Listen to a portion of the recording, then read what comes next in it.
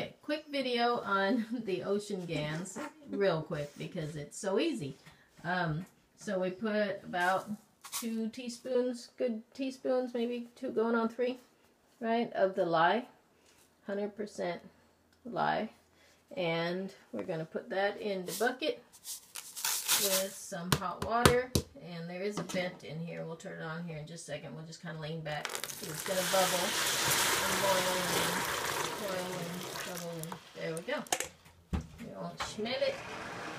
And then last time I did, I used the whole gallon of the, the ocean water. That's from Alki Beach, Washington State. Water coming down out of the Olympic Mountain. Mount Olympus in that area.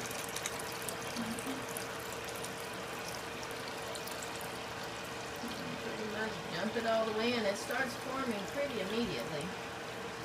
The reaction with the, the starts I didn't want to splash. right? Starts pulling the the GaNS together in there. It turns white. See, when we the water itself that was in the gallon jug was clear as a bell. Right, it's beautiful, clear beach. The water that comes up on that beach. Right. Shush. Okay. Sherry said was real super clear. So, anyways, so here in a second it turns like that, and uh, so we'll just kind of let it settle out. I can already see it forming. It's a cloudy substance in there, and it will settle out to the bottom. I just kind of leave it all alone, let it be, and then we'll go ahead and turn this off now and come back and kind of time about how long it takes for it to settle out. But there'll be a good inch or so of that on the bottom here in just a bit. Okay, this is about 25 minutes after. And it looks like there's a good, gosh, good couple of inches.